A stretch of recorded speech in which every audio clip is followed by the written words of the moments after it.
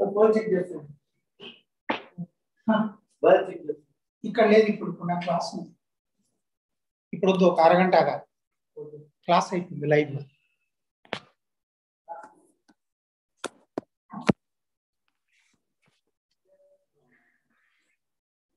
నువ్వు ఏం చేస్తావు? తప్పు చేస్తావా? మరి ఏం చేస్తావు చేయమని? ఏ- ఏం చేయకుండా చేయమని. ఏం చేయకుండా చేస్తే అయిపోయాయి. సపోర్ట్ చేయకుండా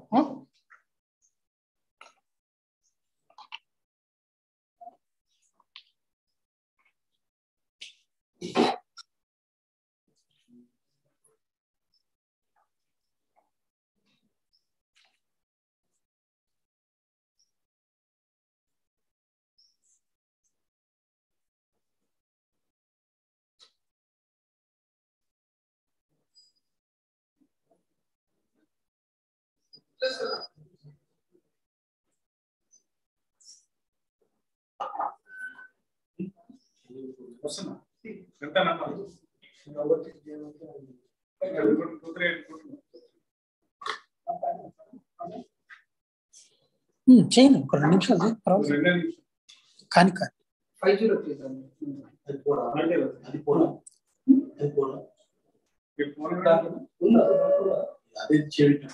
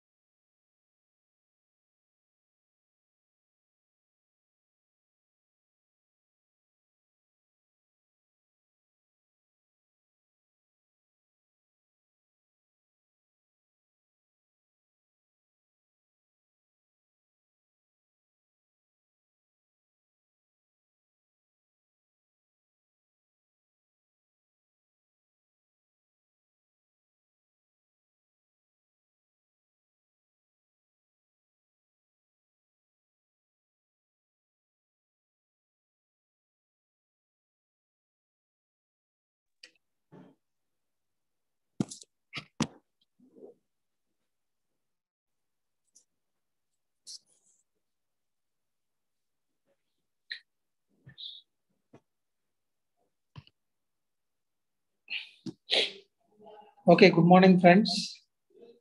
As you know, uh, this is the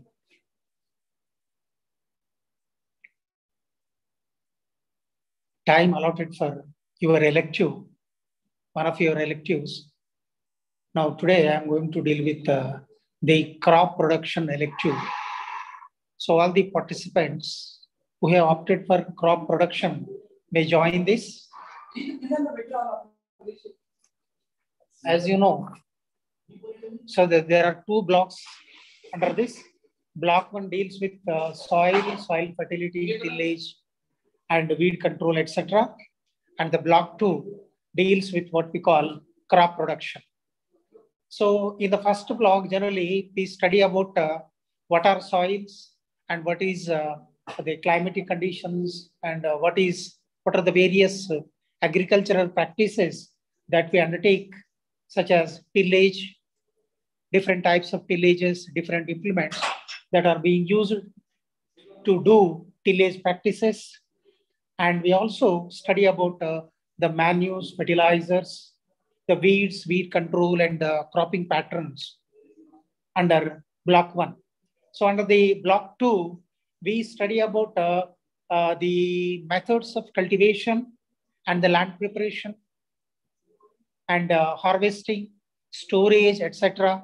And also, what are the common pests and diseases you encounter with regards to rice, wheat, maize, sorghum, bajra, ragi. These are uh, uh, your cereals and uh, millets. And we also have uh, various pulses such as uh, groundnut. Uh, we have, you know, oil seeds such as castor, sesame, safflower, sunflower. And uh, pulses such as black gram, green gram, red gram, Bengal gram. we have cash crops such as cotton, tobacco. We also have, uh, you know, cotton and uh, spices such as chilies, turmeric, ginger, coriander, etc. And we have certain orchards such as mango, citrus, cashew nut, and coconut. So this is broadly, these are topics that you're supposed to know and you'll be asked in examination.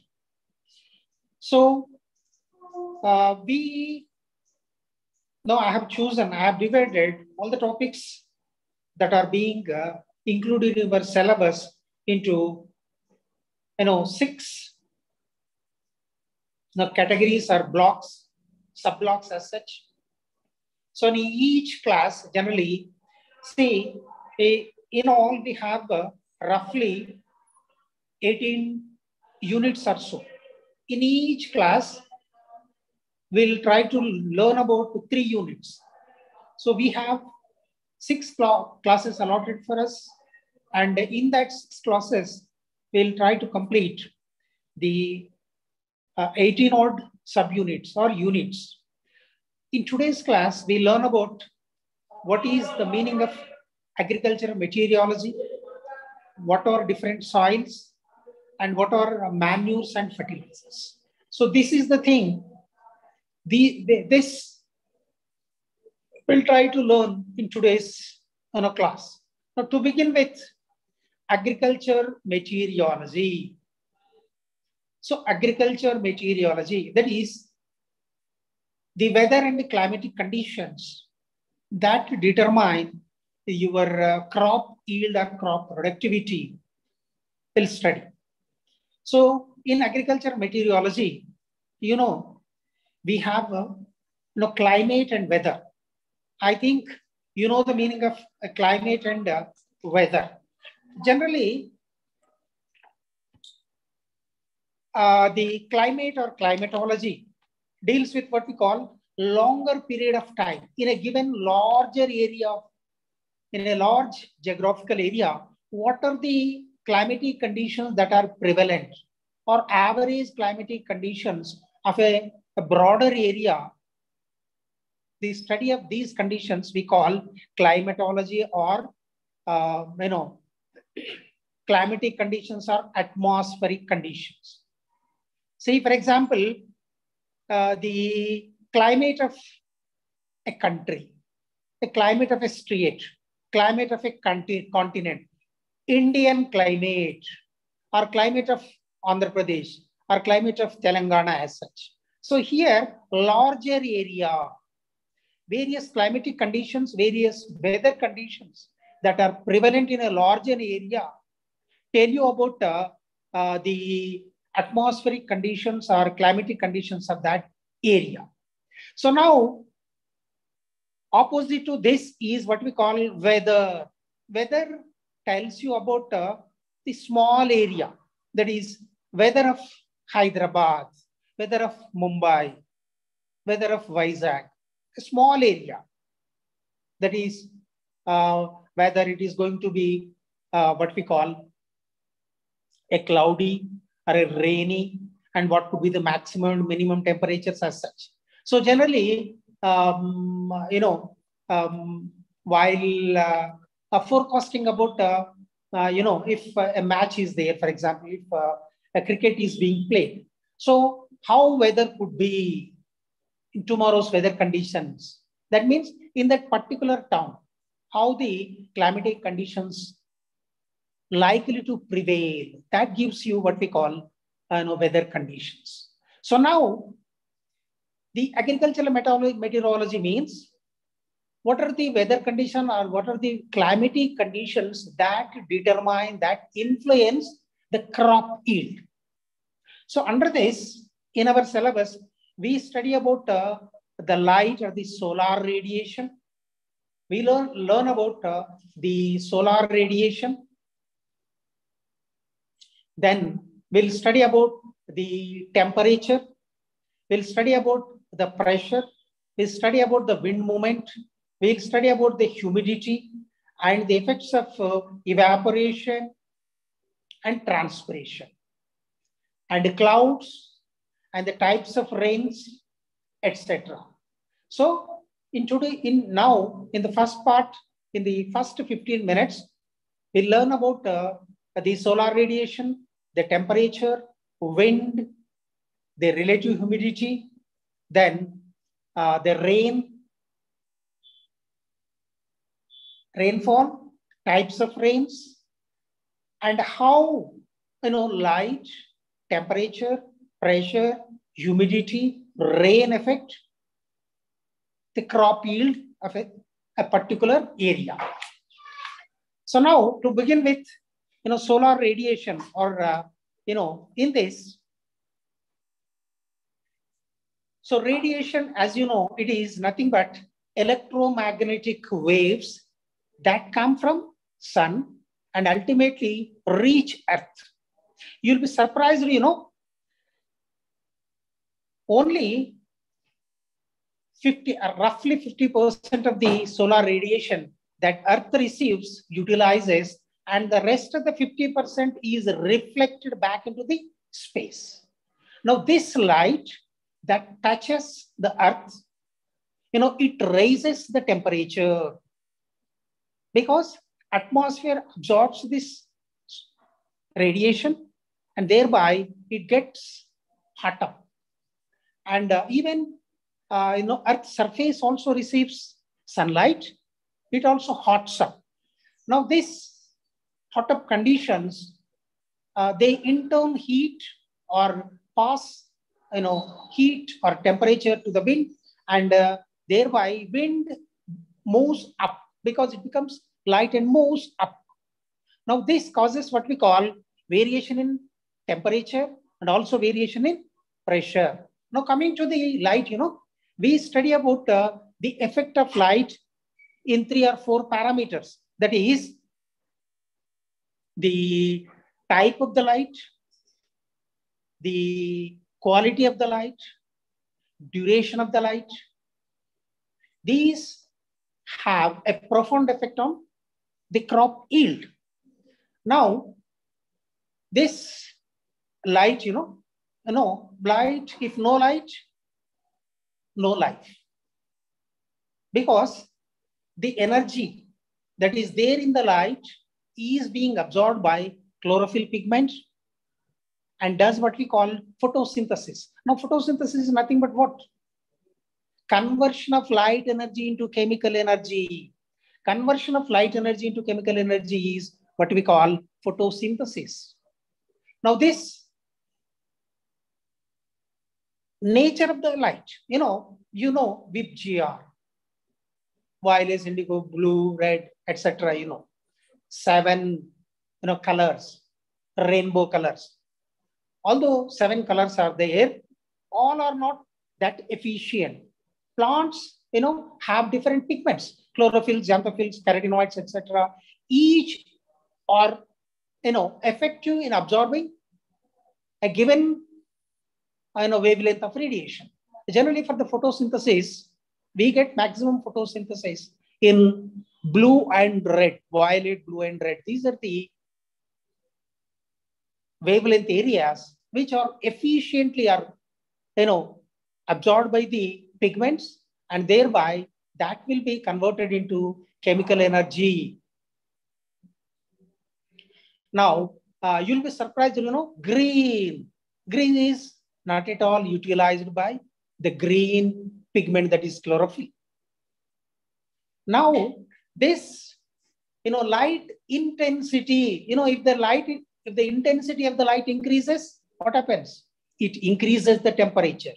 Of course, the plants or the pigments have ability to face certain intensity of light. But if the light intensity increases, uh, the pigments, they get photo-oxidated. They look, they become denaturated. They lose their ability to convert this light energy into chemical energy. So the quality of the light, the intensity of the light and the quality of the light, you know, the quality means here, pigments are able to absorb this light from 400 to 750 nanometers of the light. This is photosynthetically very effective radiation. Below 400 and beyond 750, these are not at all useful for the green plants. Of course, there are certain bacteria which are even efficient in absorbing the light, which is even less than 400 nanometers. But mostly, all green plants, all our crop plants, they're effective in utilizing the wavelength from 400 to 750 nanometers. This is quality of the light. Then coming to the duration of the light. So not only intensity, not only the quality, even duration of the light also matters. Based on the duration, crops are divided into, you know, certain crops require longer duration of light. Certain crops, uh, you know, perform well in, uh, you know, less, less amount of light and more amount of dark. And some are, they do not uh, get influenced by the duration of the light. So if a given plant requires more than nine hours of light, generally we call them as long day plants. The plants that require roughly less than 900, they are known as short day plants. Day neutral plants, they do not get affected by duration of the light. So long day plants, short day plants, and day neutral plants. See, for example, uh, your sugar beet, beetroot, spinach, radish, these are long day plants, example. Your tobacco is there. Of course, xanthium is there, chrysanthemum. These are short day plants. And uh, your maize, cucumber, they are what we call day neutral plants. Now coming to the temperature, of course, temperature is also very, very important climatic factor that influence where, you know, crop yield. Now, generally we measure temperature uh, in the form of what we call, you know, centigrade and Fahrenheit. Roughly, you know, 37 degrees of room temperature, you know, or our human body temperature is 37 degrees centigrade, which is equivalent to 98.5 Fahrenheit. Now there is a table, you know, to convert Fahrenheit into, you know, centigrade and centigrade into Fahrenheit. We have what we call thermometer that measures the temperature. Now, what is the effect of, uh, you know, temperature?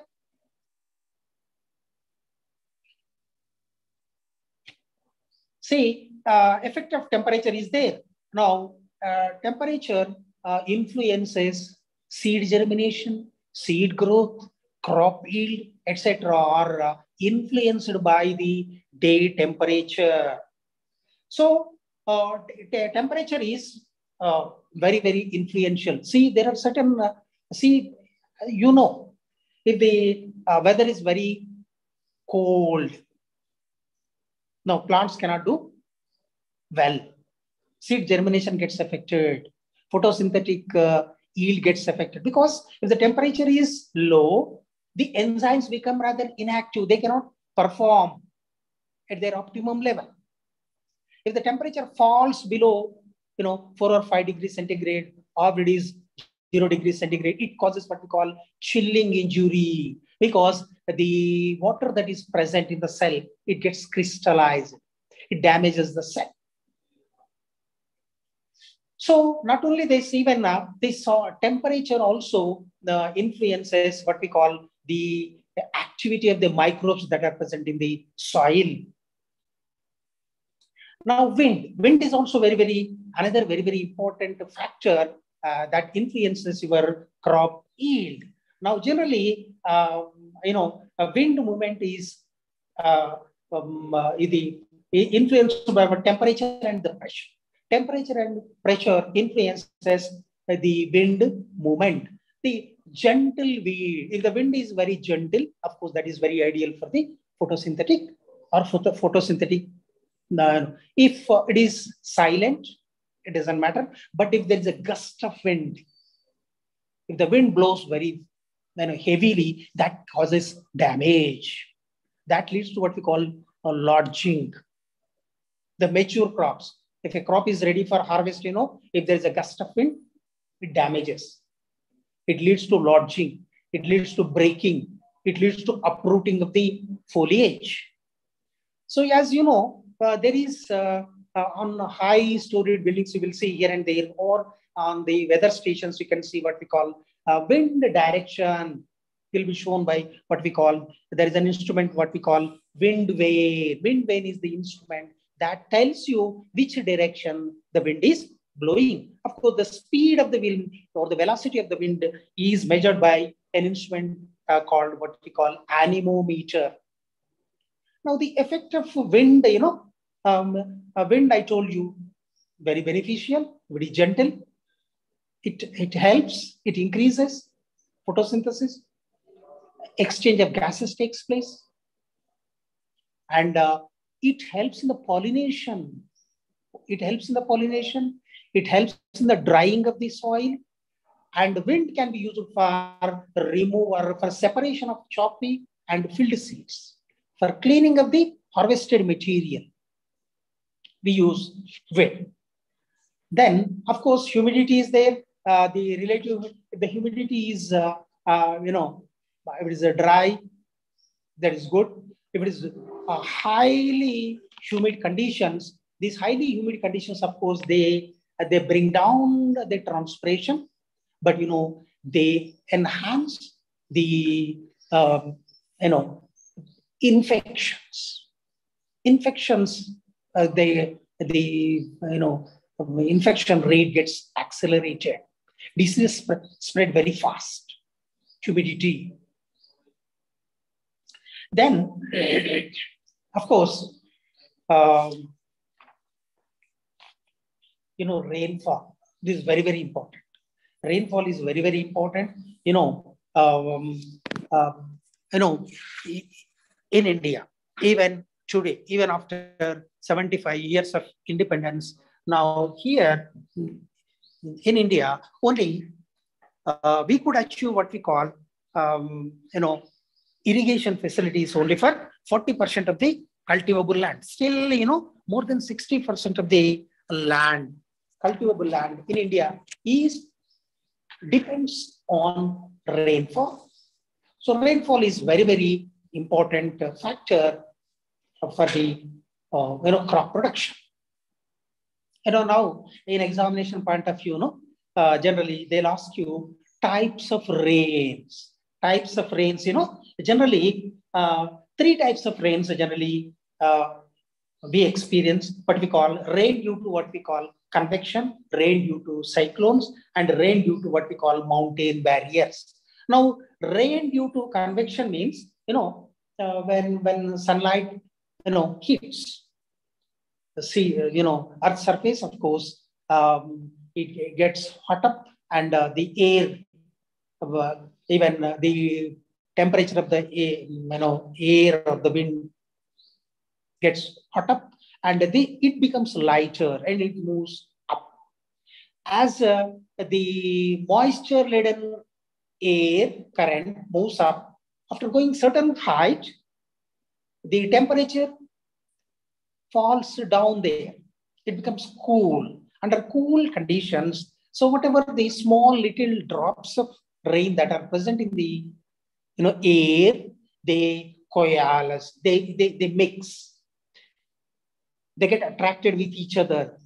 They fuse with each other. Small raindrops, droplets, fuse, and of course, it becomes big. Uh, if it is 0.25 mm or more, that air is incapable of holding that. So that bigger, which is more than 0.2 mm size, you know, it comes down in the form of raindrop. So this type of rain, what we call uh, rain due to convection, then rain due to cyclones. You know, uh, you know, cyclones is the pressure, you know, always moves from higher to lower. Wind also blows from higher to lower. So uh, at times, the, you know, the, in, in different winds of different velocities uh, uh, with uh, different temperatures and uh, um, low and high pressures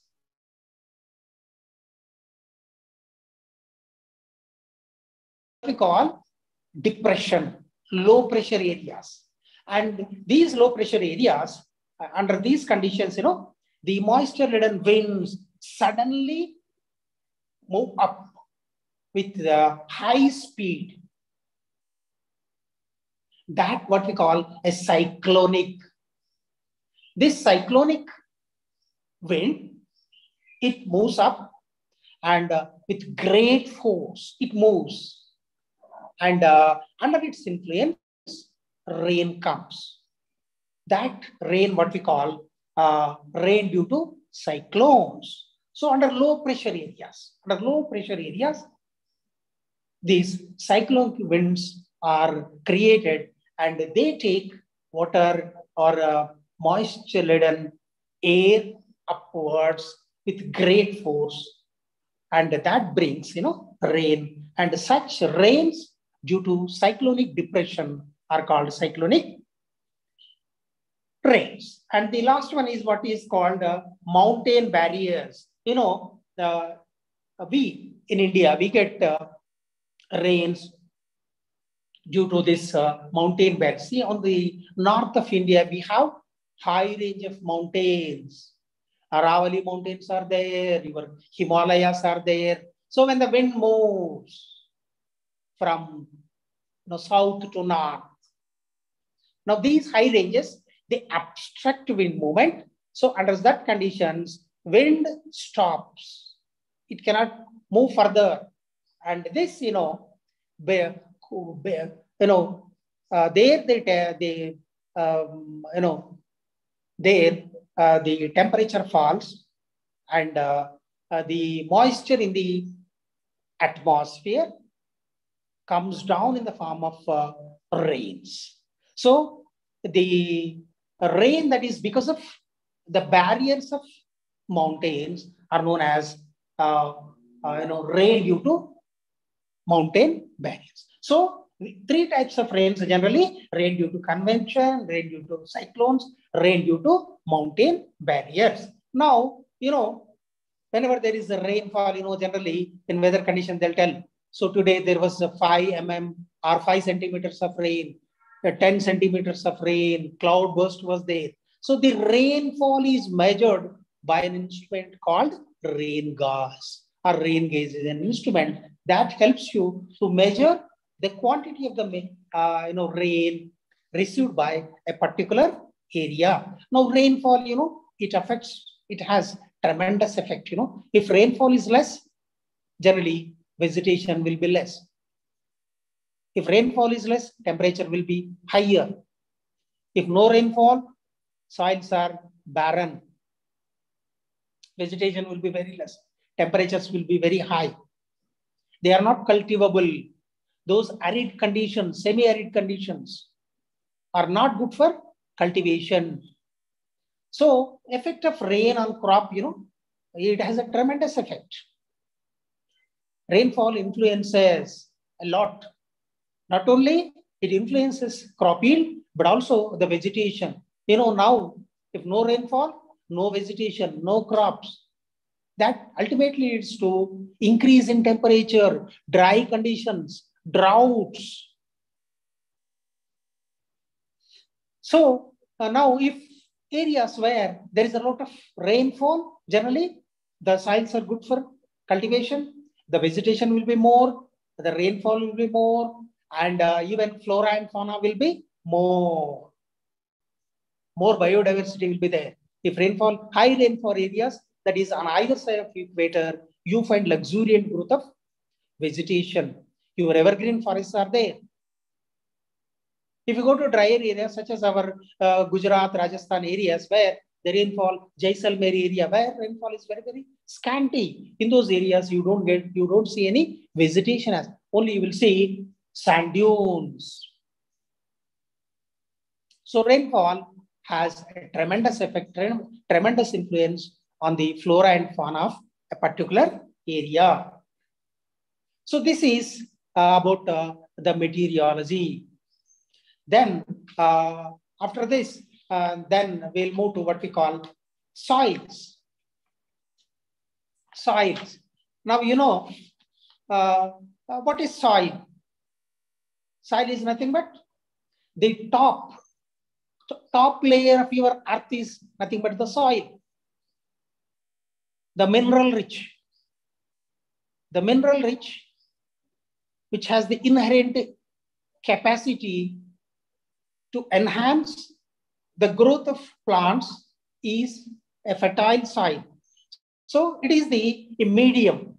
The soil is the medium where plant growth takes place. Of course, nowadays, soilless culture, hydroponics. If no soil, even plants are being, or crops are being grown in, in bottles, in troughs, where water is there. The minerals are added, and of course, there uh, you can grow your, uh, you know, tomatoes, your brinjals, etc. can be grown in waterless conditions are hydroponics. So generally, soil is the medium where plant growth takes place.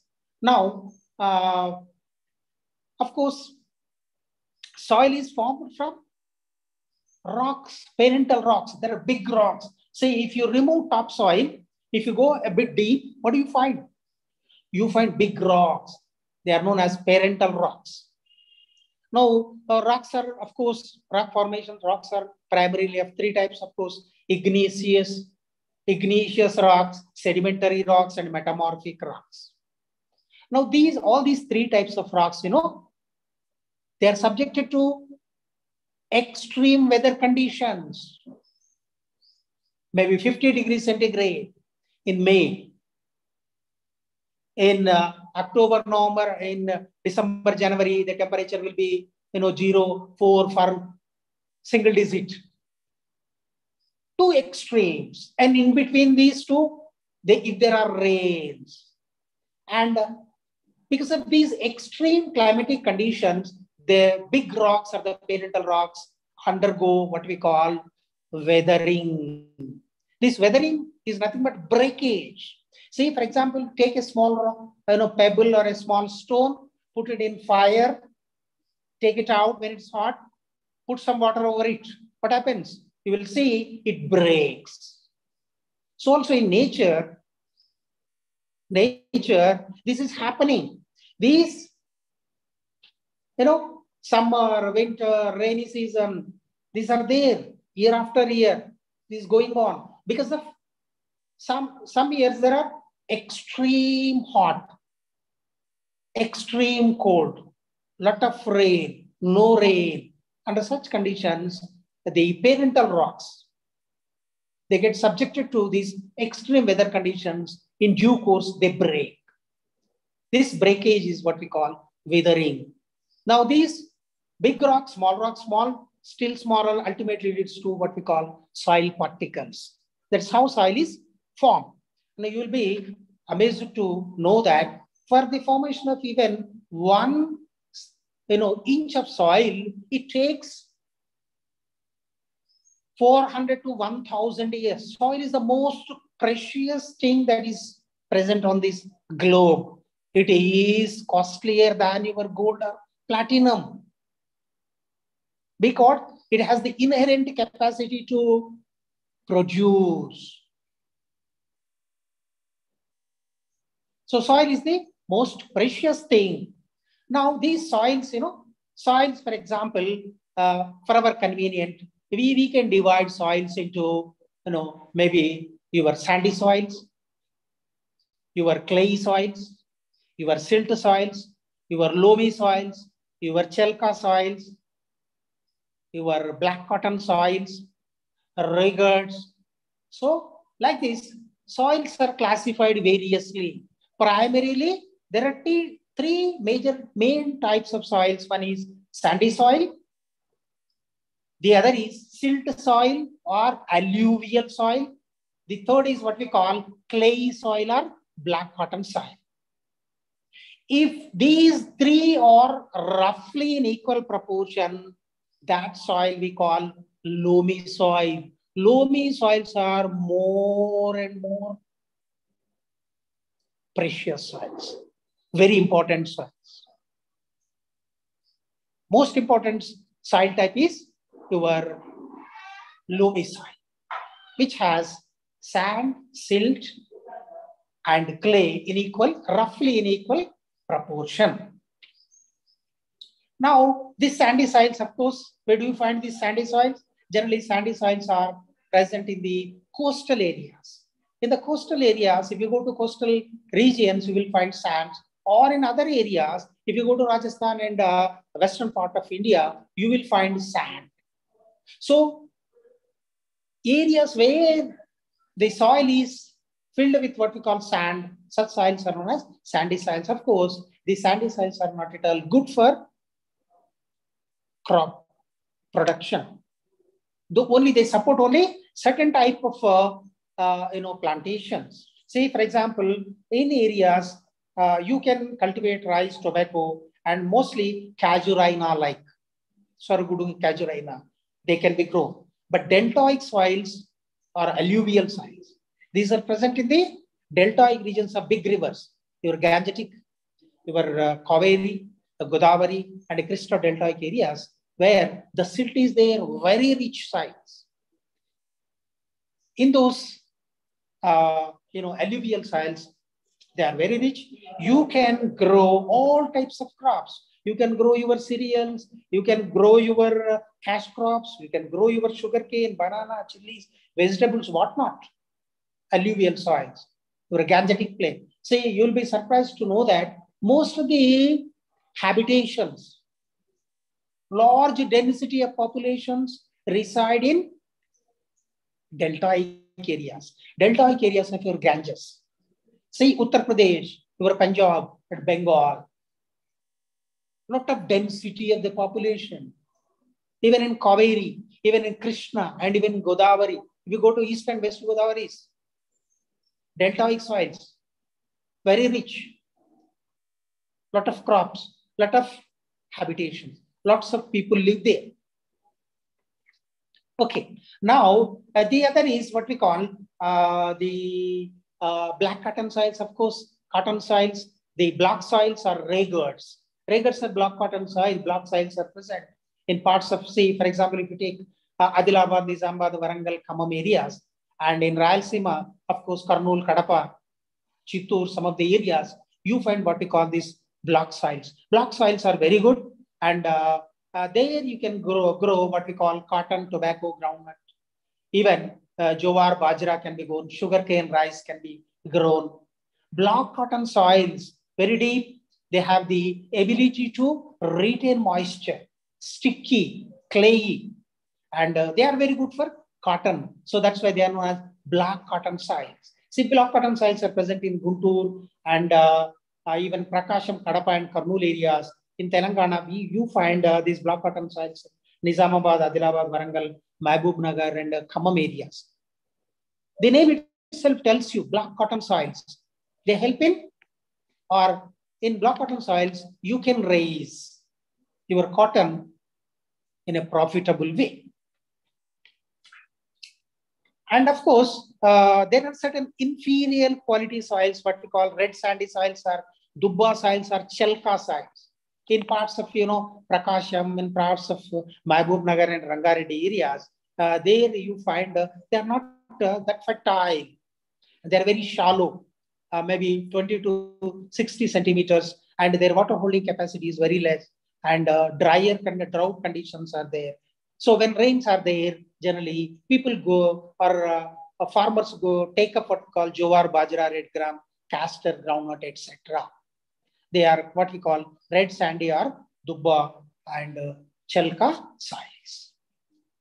Now uh, we have what we call problematic soils. Problematic soils are the, uh, see, some soils, some areas, they are very eroded. That is, if there are rains, you know, it removes topsoil. You will see only uh, barren rocks. Do not support any plant growth. And uh, if, uh, it leads to what we call ravines. It will uh, steepy conditions. Landslides will be there. If you go to Himachal area, there lot of la landslides. If you go to even um, Tirupati areas, landslides will be there.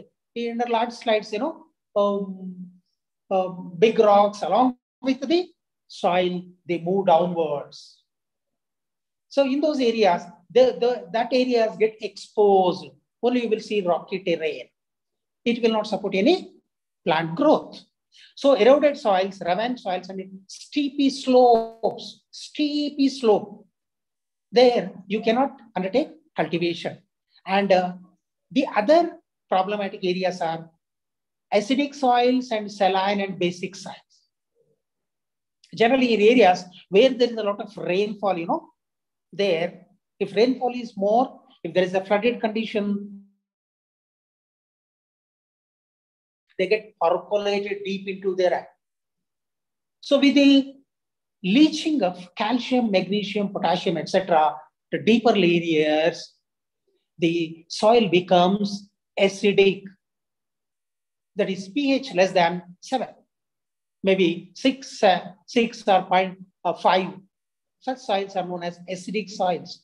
So acidic soils are not good for cultivation of all. Of course, even in acidic conditions, you can grow certain crops such as rice, or you can undertake what we call tea gardens, etc. Now, uh, in this is acidic soils. If soil is acidic, what to do? Because there is a leaching of important calcium, potassium, magnesium, etc. Leaching. So what you do? You have to add these, these that is by adding, by adding limestone, by adding limestone either in the form of powder or uh, you know limestone or burnt limestone or hydrated limestone can be added and thereby you can reclaim soils. You can reclaim acid soils. So the other thing is uh, basic soils. Now, if the soils are basic or saline, there uh, the pH will be more than more than seven. Those are also not good for cultivation of all types of crops. Of course, there are only certain crops, certain arid crops like your um, uh, say, for example, your castor, you can grow bajra, etc. Of course, uh, uh, certain uh, jowars, etc., can be grown, but you cannot grow even to certain extent. You can also grow what we call groundnut. So you can reclaim these alkaline saline soils by adding what we call gypsum. By adding gypsum and uh, uh, using plows and uh, blade harrows, etc., you can reclaim. Reclaim is nothing but converting back to neutrality. By adding uh, this gypsum, you can reclaim these uh, basic soils into normal soils. So uh, these acidic soils and basic soils can be converted, can be reclaimed by adding certain materials. And thereby you can, mm, you know, convert them into normal soils and you can uh, go for cultivation. Now then, uh, the uh, soil fertility and soil productivity. So the inherent capacity of the uh, soil is what we call soil fertility and the productivity is the ability of the soil to produce. That is not only your quality, uh, the fertility of the soil, but other conditions do matter in the productivity. What are the other conditions? The rainfall, the irrigation facilities, and uh, your plant protection mechanism. And uh, uh the types of uh, cultivation methods you adopt also determine your crop yield. That is your even weather conditions, weather also. Say, for example, if there are lot of rains, if there, there could be no rain, more rains or no rains. If there is an infestation of uh, your pests and uh, um, that, then what you have to do? You, you, you go for plant protection mechanism. So not only the fertility, but even other things do matter uh, in determining the soil productivity. So water supply, the climatic conditions, and the cultivation practices. Cultivation, say, for example, if you go on uh, raising same crop, naturally your productivity falls. Instead of that, what you have to do? You have to go for what we call crop rotation, laying. If you do such practices, your crop productivity gets enhanced.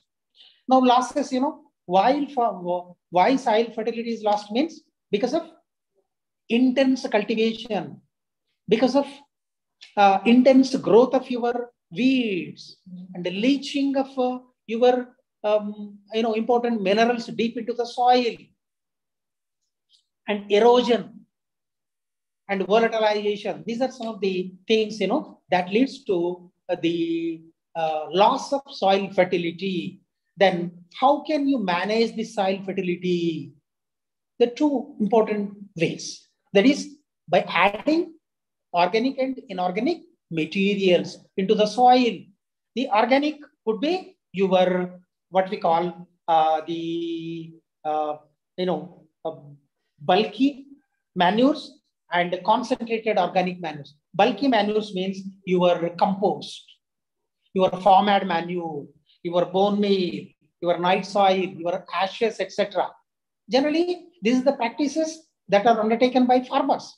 In summer, generally, you know, they lift they transport the farmyard manure from the pits into their fields or uh, what we call uh, uh, from uh, the poultry farms, from the dairy farms.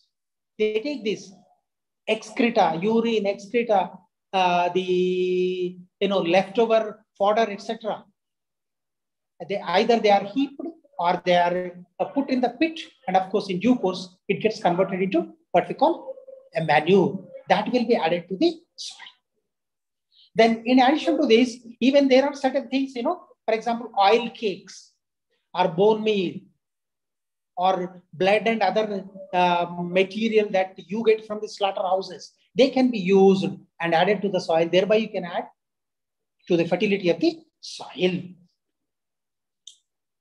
Of course, uh, nowadays we have, you know, fertilizers are there we'll stay, we'll study about that. Then biofertilizers are also there. So organic, inorganic, and biofertilizers. By adding them, you can enhance the soil fertility of the soil. They can, thereby you can get high productivity.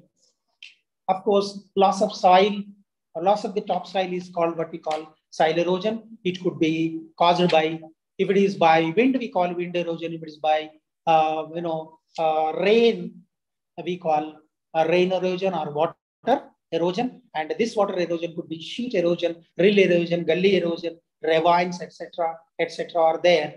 And in some cases, on the banks of the rivers or in the seashore areas, wave erosion is also there.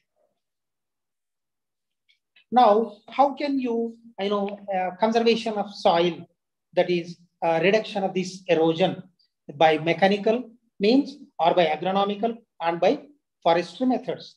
Mechanical means, see, for example, if there are ravines, if uh, there are uh, uh, river erosion or rill erosion, gully erosion, there are the steep areas are there.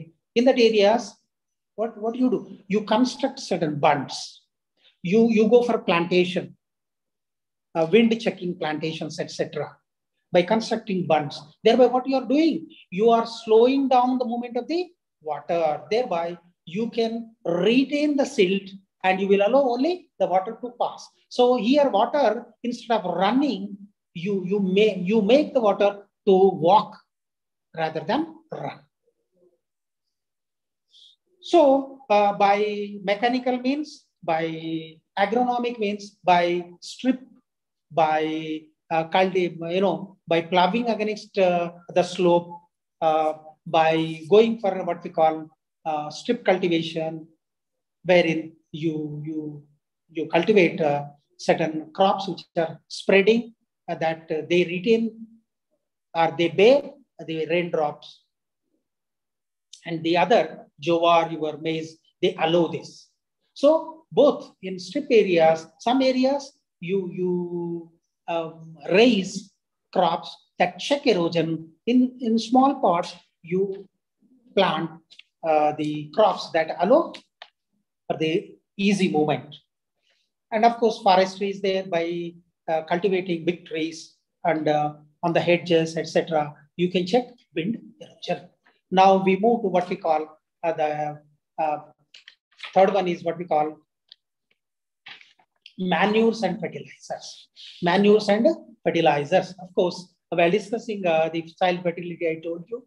Now, these manures and fertilizers. Here, manures means uh, the organic, organic manures and inorganic manures and uh, uh.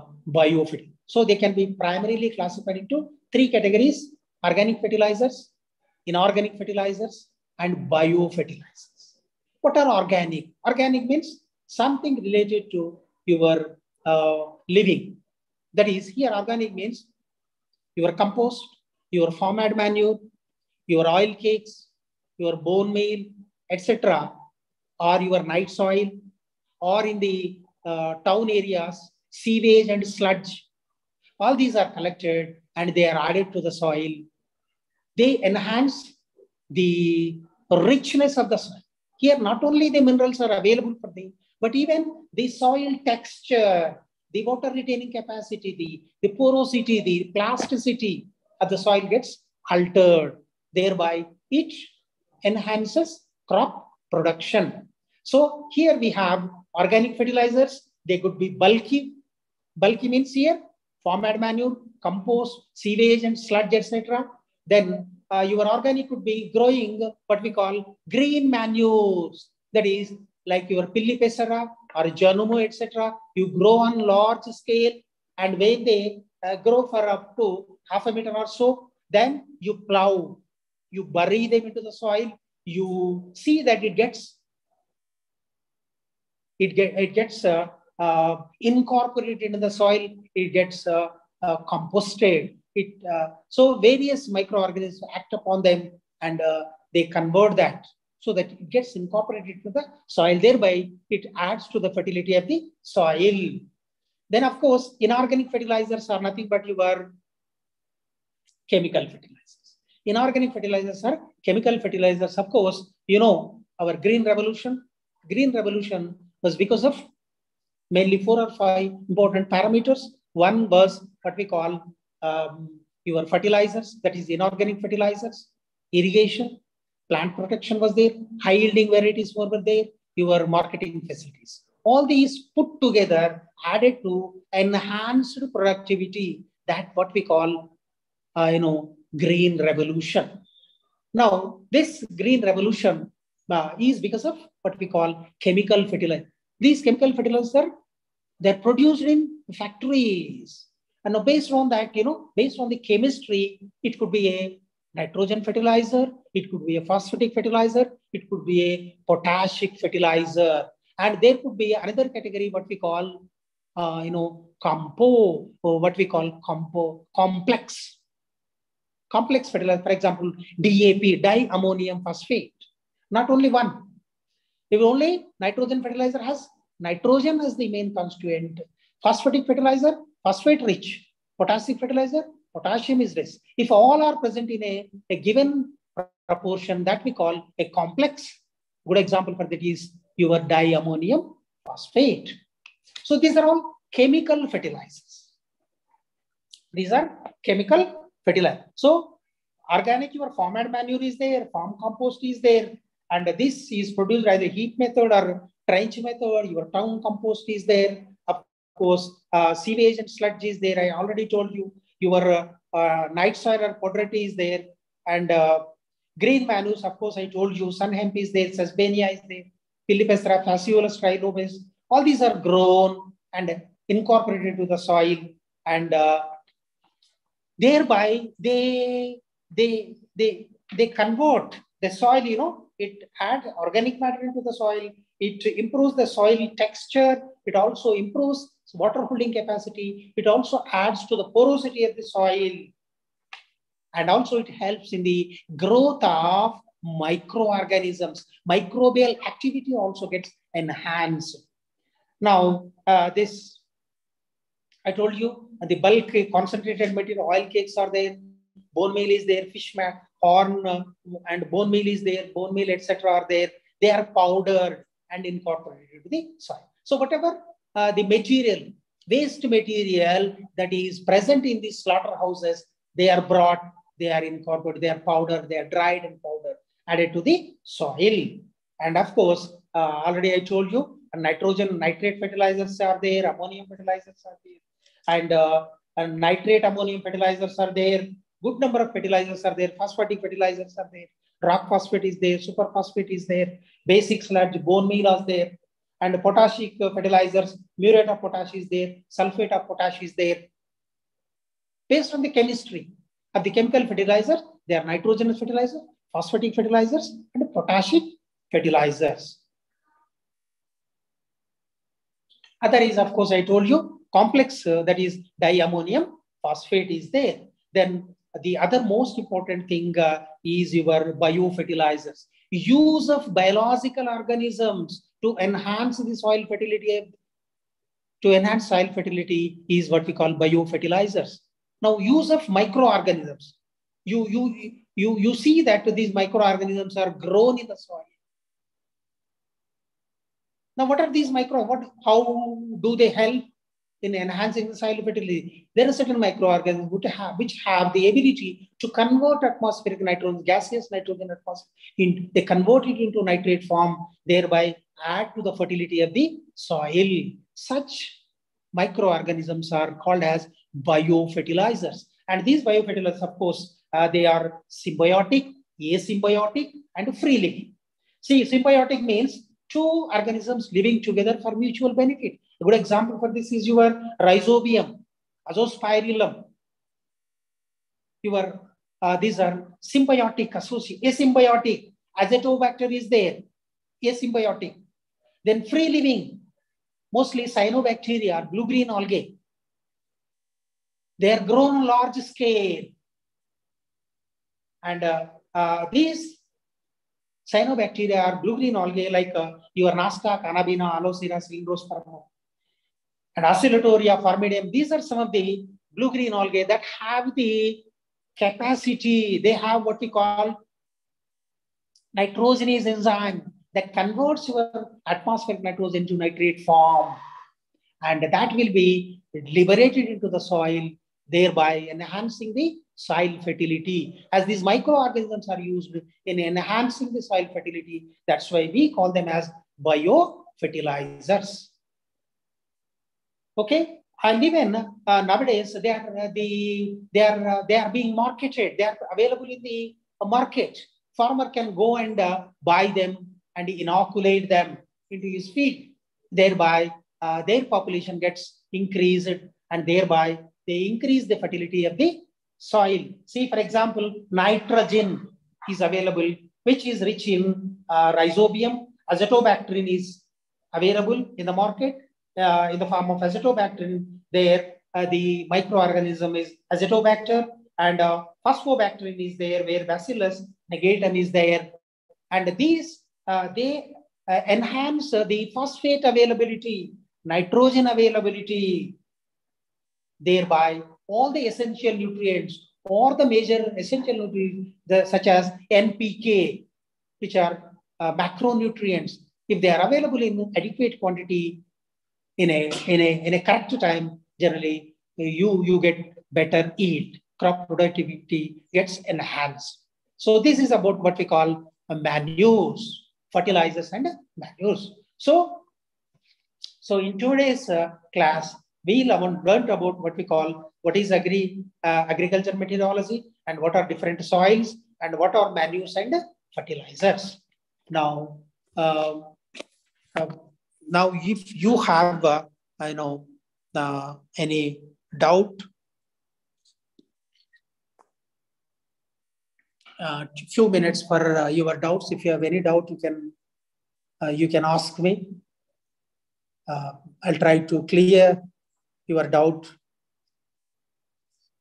If, uh, of course, if there are no doubts, uh, generally, of course, tomorrow we have another class. In tomorrow's class, we will discuss about uh, agricultural practices such as what is tilth and tillage and what are weeds and uh, what are the various methods of weed control. We'll also learn about uh, various cap cropping patterns. What are the different cropping patterns and what are the different cropping systems uh, that are under practice now. Okay. Any doubt? If you don't have any doubt now, I'll call it a day and hope to meet you tomorrow.